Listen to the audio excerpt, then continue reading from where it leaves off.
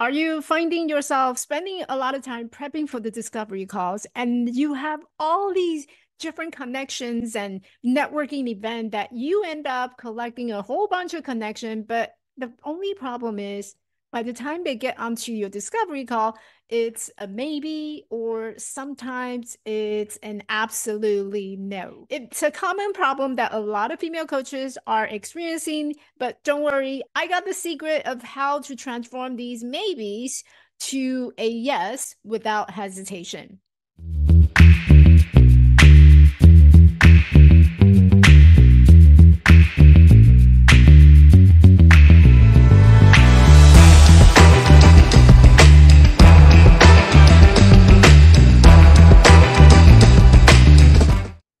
New to me, I'm Michelle. I am a visibility and marketing coach for female coaches to simplify your social media marketing so that you can get seen, get heard, and gain paying clients. Today, we're talking about the most challenging part, but I promise you, it is also the most rewarding part of your coaching business how to get more yes like never ever before from your discovery call. So what's the deal? Why are there so many potential clients slip through the crack and they may have grabbed your discovery call and you have made that initial contact and connection, but somehow every time you get on that discovery call, it just doesn't go as well as that you like it to be. And the problem is that you may spend times working on your uh, discovery call script and you practice to the T. You probably have done it so many times that you can memorize it in your sleep. But when you jump onto that discovery call, somehow it's always a hesitation. Maybe I'll get back to you. I don't know. I'm not so sure about this. And so there's a lot of hesitation from your potential client. Instead of signing up with you right there on the spot, they're thinking about what's in it for me and how much does it charge maybe I'll get back to you. Maybe you'll hear from me. And the problem comes twofold, two reasons. First is that your messages might not be clear as to leaving people thinking unsure about exactly what is it that you're offering.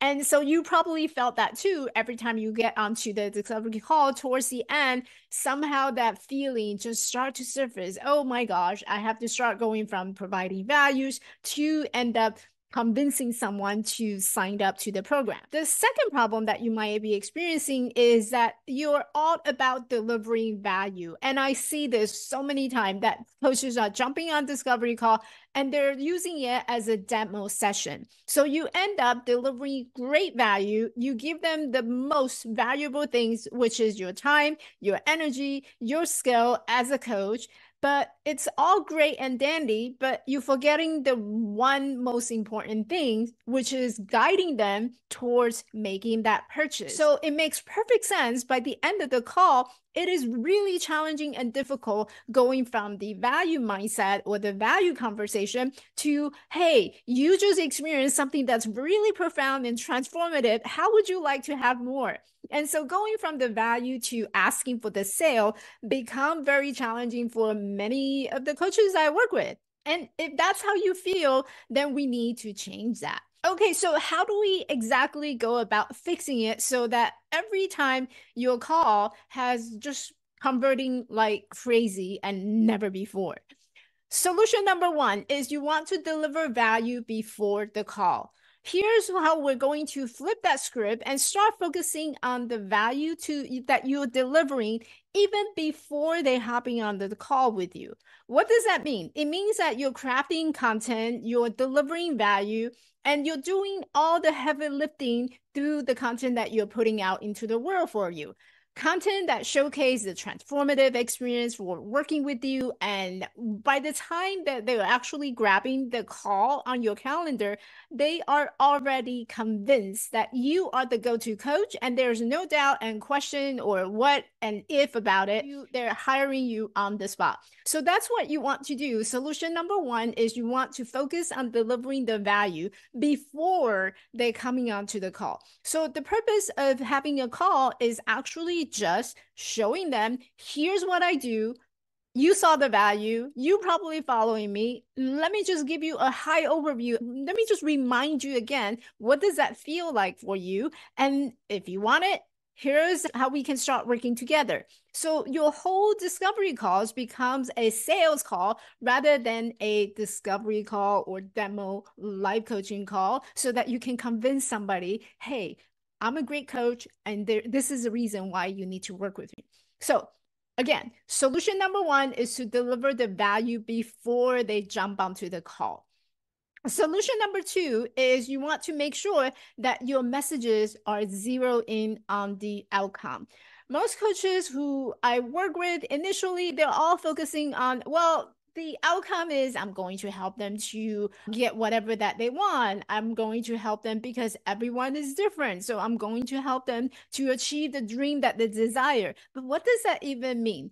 And when people jumping onto the call, they're thinking in their mind, they want to know what's in it for me. And so your conversation needs to be tailored to exactly what they're looking for. So let's say you're going to a networking event or a um, connection meeting, uh, virtually or in person, doesn't matter. And someone share something uh, of a, their personal struggle. So your what's in it for me is about speaking to that person's desire, speaking to that person's pain and struggles and frustration and what's keeping that person from getting to the places that they want. You do that in that conversation so that your outcome focusing messaging is the fact that hey, if this is what you're struggling, let me tell you about what I can do with you.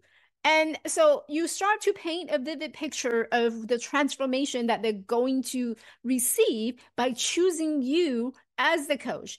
So the clarity comes from the turning that curiosity into commitment. So someone would be like, well, this is what I'm struggling. Maybe it's a habit. Maybe I need to go back to the gym. Maybe I need to lose some weight. Whatever that pain and frustration is, why couldn't that person just put it onto the calendar and make it a habit. You speak about that frustration and offer, step in and say, Hey, this is exactly how I can help you with this. I can help you building that habit. I can help you to set that goal. I can help you to accomplish what you just said. And that is going to help you to have a higher converting ratio so that by the time they jump onto the call, or even they will just hire you on the spot, if this is what you can help me accomplish, great. Let me hire you. You are my go to coach. So, again, solution number two is to focus on the outcome focus messaging what are you going to do and how you're going to help that person. So now this becomes tricky on social media because you need to be able to speak to a bigger, larger audience without losing the focus of who your avatar is. If you need help with that, I have a perfect resource that I'm going to link in the description box down below. It's a core message guide. It's going to walk you through the five steps of what does it mean to actually have a core message that is going to attract your paying client. So find the link down in the description box. Okay, solution number three is you want to nurture the future buyers. I hear this so many times from so many different coaches that, oh, they jump onto the discovery call, but they didn't buy from me, or they didn't end up signing up with me in a couple of days. They say they were going to get back to me, but they started to ghost me. So remember, just because they didn't buy today doesn't mean that they won't buy tomorrow. People are going through a different personal journey. And so it's really crucial to understand where they are in their journey. Are they ready to solve their problem? Or maybe they just wanted to get to know what are my options here and what actually life coaching is. So for those who are in just looking phase, consider creating a free offer. It may be a Facebook group that's free where you invite your potential dream audience into that Facebook group. Or my suggestion and my priority is always start your email list early. And what you want to do is you want to keep them engaged until they're actually ready to commit. Now, you may say, well, Michelle, that's great, but some of them just hang out in my Facebook forever, or they unsubscribe from me on my email list. That's okay. Maybe they're on a different journey. Maybe they change their mind. It's okay for them to let go from your email list, but you want to have that commitment of continuously to engage them, to have conversation with them. So never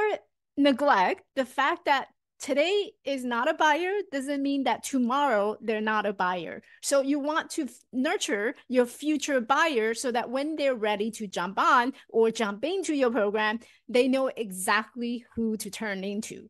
Okay, so today I share three very important tips. If you're someone who's struggling to convert your discovery call, people who jump on and grab a time, who you think that would be perfect as your paying clients, but somehow they just turn out to be a maybe or they ghosted you. Here are the three solutions that I have for you so that you can actually have a higher conversion rate like never before. Solution number one is to deliver the value ahead of time.